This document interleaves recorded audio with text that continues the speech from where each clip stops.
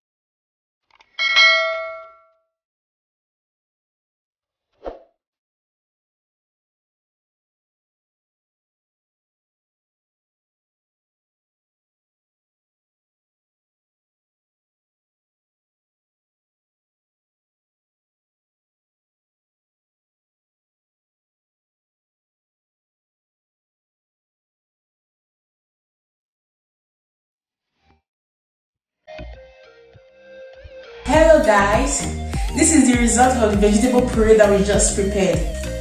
This is zucchini puree. Look how beautiful it is. And this is pumpkin puree. So colorful. And this is potato puree, my favorite. Last, this is carrot puree. They are so beautiful. Guys, please try this at home and tell me what you think. What do you think about this beautiful blended vegetable puree? And please, if you know it's your first time watching my video, subscribe to this channel and press the notification bell to be notified anytime, any day I upload any video. Please press the like button and leave your comment below and tell me what you think. Thank you for watching. Bye bye. See you in my next video.